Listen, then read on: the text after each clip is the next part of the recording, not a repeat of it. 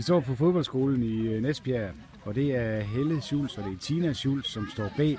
Og det er lidt specielt, fordi øh, Helle, I er jo også i familie. Hvordan er du i familie med Tina? Det er da min mor. ja, det er så. Så vi er hinandens bedste venner. I er hinandens bedste venner simpelthen. Ja, og det er ikke det eneste, I laver sammen på fodboldskolen. Øh, Hvad er det mere, I har gang i? Vi skal have privat øh, stordagpleje.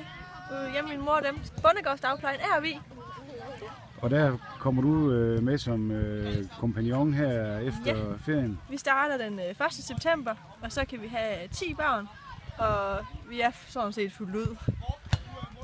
Tina, øh, hvordan bliver det at arbejde sammen med din datter, tror du? Jamen det bliver da spændende. Altså, øh, Helle har sin mening, og jeg har min mening, men vi kan jo stadigvæk være gode venner, er det ikke, ven? Altså, sådan er en mor og datter. Og så skal vi, og så skal vi have en jubelscene her, øh, og det skyldes, at øh, fodboldskolen i år slår rekord. Hvordan ser det ud med fodboldskolen, øh, Helle? Det ser rigtig godt ud. Øh, sidste år der havde vi nogle 100, i år der er vi oppe på 111. Så det går bare fremad.